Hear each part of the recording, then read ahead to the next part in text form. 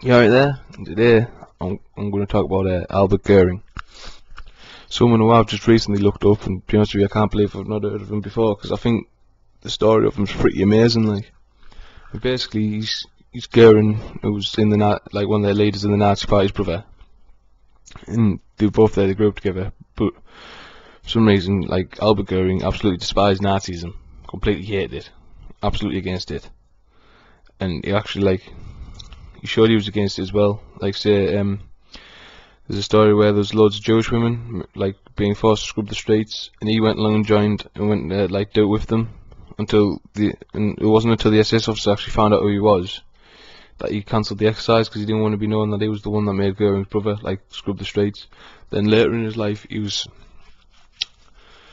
I think I think he was manager or head of the Skoda factory in uh, Czechoslovakia, and he'd do stuff like he'd sign Goering it's like he'd forge his brother's signature basically to like help them and get them off.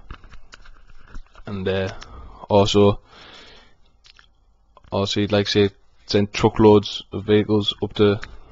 They weren't fully up, but like to send trucks up to like the concentration camps. Then once there, he'd like fill them for the Jews and saying that he needed hard labour. He'd get a few miles down the road, then he'd like like free them, just tell them to do one. He got arrested twice as well. He got arrested in the Nuremberg trials, but people who he helped came forward testified for him and he got it released and he got arrested by the Czechoslovakian government for crimes to see anything happened again. So twice he got arrested for war crimes and twice he got off of it because of the deeds he did.